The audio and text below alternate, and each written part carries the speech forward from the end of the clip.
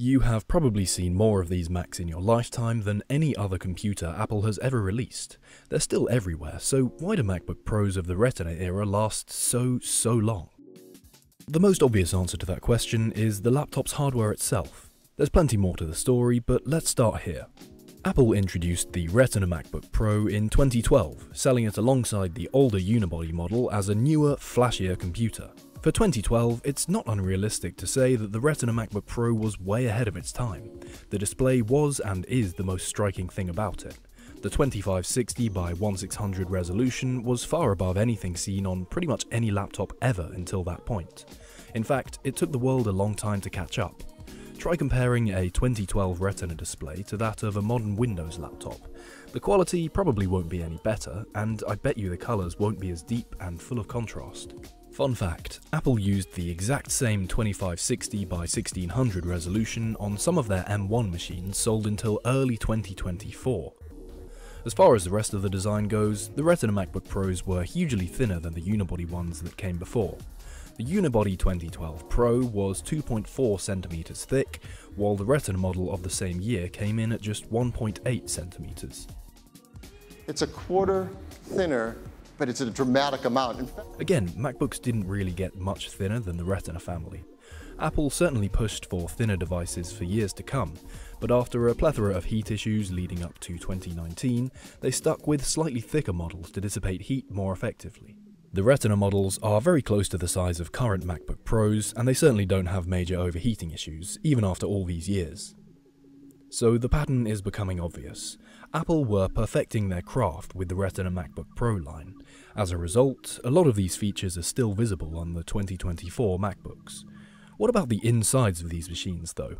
How are Retina MacBook Pros able to stay sharp over a decade after their release? Well, a big clue lies in the processors inside these laptops. 2012 to 2015 were real peak years for Intel, who created the CPUs inside all Macs at the time. Intel were far ahead of their competition, especially when it came to mobile or laptop chip performance. They were innovating year on year, introducing turbo boosting clock speeds just before the 2010s, and regularly adding more cores to their latest chips, which would invariably be included inside Apple's computers. These microlithographic leaps and bounds were paying off, as you can see. In 2006, Apple and Intel's long partnership began, and Intel were doing swimmingly. Their share of the CPU market rose from about 50% that year to above 80% from 2015 onwards. This wouldn't last forever though. Once Intel hit the very peak of their success, they seemed to sit on their lead, denying MacBooks past the 2015 Pro any real CPU upgrades. Alright, so let's compare the final Retina MacBook Pro to some of the MacBook Pros that arrived in the years after it. The 15-inch version of the 2015 Pro managed to score 3,836 in Geekbench 6's multi-core test. Two years later, and the top-spec 2017 MacBook Pro scored just 3,779. Multi-core performance went backwards somehow in the Touch Bar MacBooks of 2016 to 17. Geekbench 6's single-core CPU benchmark tells a similar story. Our 15-inch 2015 MacBook Pro scores 1,160, while the top spec 2017 is at 1186. This time, the 2017 is ahead, but by just 2%. By 2018, other chip companies like AMD were beginning to catch up to Intel. Come 2019, they were under a lot of pressure to make some bigger strides in the CPU world. AMD's Ryzen had released a couple of years prior, and processors with a lot of cores were becoming the norm. As a result of all this, it's clear that AMD took a pretty big chunk out of Intel's market share, going back to the page we were looking at. Eventually, Intel did defend their lead pretty well, and Apple of course went on to design their own computer chips. This story isn't about the processor market though, it's about the Retina MacBook Pro line. So going back to these laptops, how do they actually perform in the real world these days? Well, pretty impressively for their age. A lot of this comes because Apple are pretty good at supporting their devices with OS updates for years after their release. The 2012 Retina MacBook Pro got 7 years up to macOS Catalina, which dropped in 2019.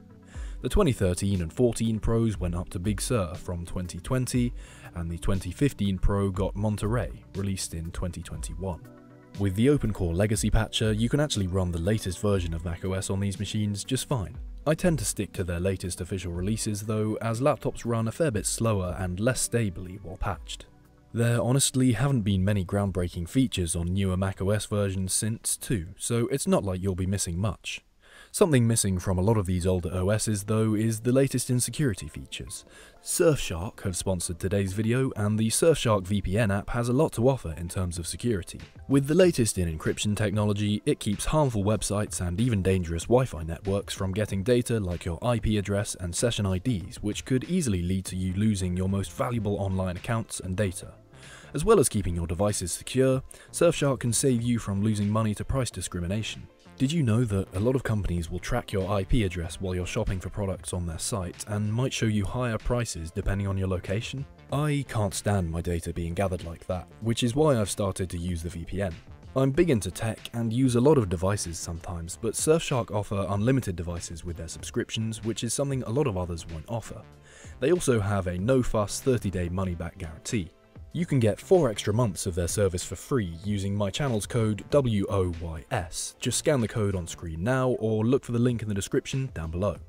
So back to the insane popularity of those 2012 to 2015 Retina MacBook Pros. It's likely a lot of people bought and still buy these because of how repairable they are. In case you weren't aware, Apple have consistently released some of their least repairable laptops in the years since the Retina MacBook Pros came around.